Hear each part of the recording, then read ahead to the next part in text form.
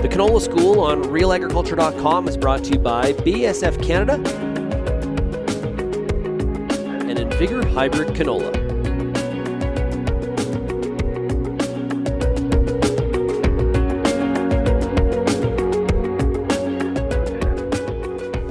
Kara Oosterhuis here with RealAgriculture.com. We are back here today with another Canola School episode, and I'm here with Autumn Barnes, who's an agronomy specialist with the Canola Council of Canada based in Lethbridge, Alberta. How is it going today? Wonderful. How are you? Great. So, we are here today to talk about some reseeding decisions, especially when it comes to uh, environmental conditions and what producers should be considering if they've had, you know, some of these big detrimental winds across their cotyledon crops. Yeah.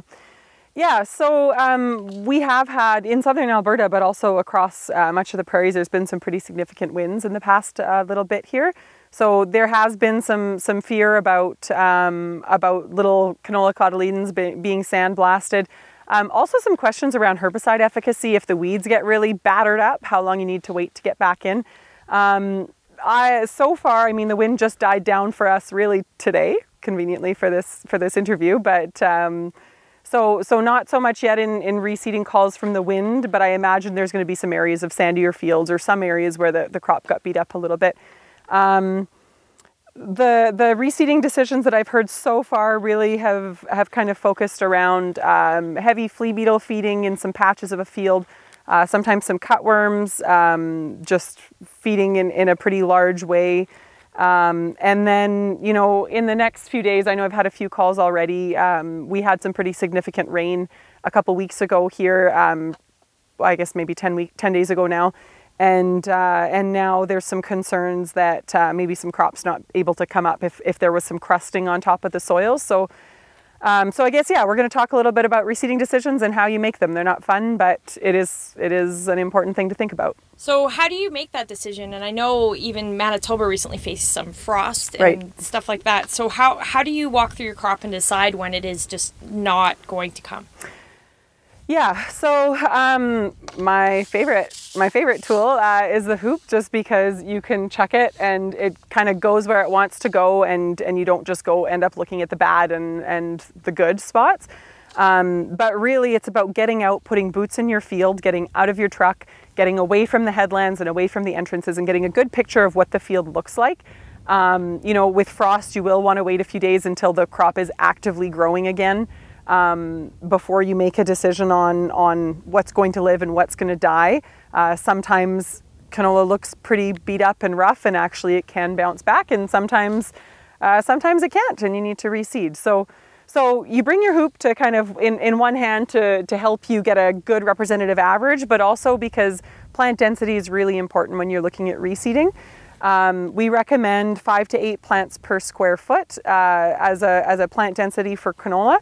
Um, that said, you know, we know that uh, we know that yield predictability and stability really starts to come down around that three, four plants per square foot. That's sort of a shelf.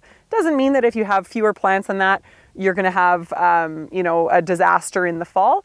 It just means that it's very unpredictable and you're more likely to get a lower yield. So, so when you go walk and you're making a reseeding decision, we're in a suboptimal condition. So we're not looking at five to eight plants per square foot. Often uh, you know, the most difficult decisions happen in that one to two plant per square foot range. Uh, and so really you want to get a look at the uniformity of, of the damage. So if you have big patches of, of no plants at all, perhaps you can just reseed those patches. If you have um, smaller patches of no plants at all, is the rest of the field going to be able to compensate? What's the weed pressure like? Um, you know, or if there was something like a seeding error, for example, or too hot a fertilizer that's really impacted what your emergence is, or even, you know, drought conditions as we've had for the past several springs. Um, you know, one or two plants per square foot can can often yield better than than a crop that's planted sort of mid end of June. So. And when would you, yeah, exactly. When would you consider it to be too late to be reseeding? So yeah, in, in, the southern the southern zone. Yeah, in the southern zone, like especially because we get really hot Julys here, so we can get some pretty significant pod abortion and, and flower blasting.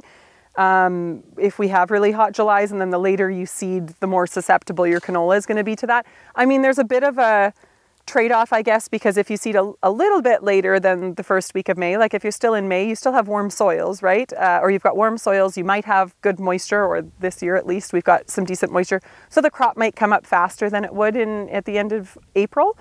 Um, so really, ideally, we want to seed canola that first week of May in southern Alberta. Um, but uh, as we're getting towards the end of May, or now it's early June, you really have to start thinking about the economics of what you're going to put in. If you're going to if you're going to reseed to something else, um, what's that going to be, and what's it going to pencil out to uh, as far as your bottom line? Um, and then if you're going to try and seed some patches, um, you know, how are you going to manage those separately from the canola that's there? Usually, reseeding decisions are not like an easy decision where you walk through and you say, "Well, I have an average of a half a plant per square foot. I don't think I like this." It's generally you know, a nasty situation and you sort of have to weigh the pros and cons like, can I manage my weeds effectively? Is, you know, is this crop just going to be a disaster to manage? Um, and on the other hand, if I reseed it and say put barley in, um, what's that going to make me at the end of the day? So, or if I'm going to reseed and try and put canola in, in again, is that just going to be struggling to get through the season and then, you know, potentially deal with getting snowed on in the fall, which we know is not the most pleasant scenario. And as far as herbicides go, do you have to worry about any herbicide residue if you are re- if you've sprayed and now you're going back and you're reseeding? It depends. I mean, if you're if you're spraying if you're seeding canola again, um, then then you should be okay. But really, I would recommend checking all of your product labels, keeping really good and accurate records um, with your sprayer, and then going back and checking the individual chemistries that have been applied because. Um, yeah, that's that's never a pleasant uh, situation to be in. Anything else you'd like to add? Uh, so also, it's really important um, when you're going out and you're doing these assessments um, and, and you're counting plants um, that our plant density recommendations are for that two to four leaf stage.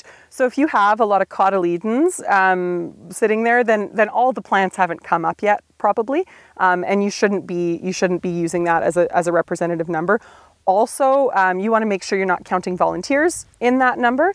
Um, and then any time that you're looking at emergence, you need to look at the ab above ground growth, um, but also you want to really be digging down in the rows and making sure there's no canola still coming, especially, you know, if you've had some rain recently, um, then perhaps there's canola that's gotten started and hasn't come up. So if the plants aren't there, you want to figure out why they're not there, find some seeds, find some seedlings, see if there's any disease, see if there's some sort of mechanical damage or if there's frost or, or wind damage or something like that and really like understand and diagnose the problem.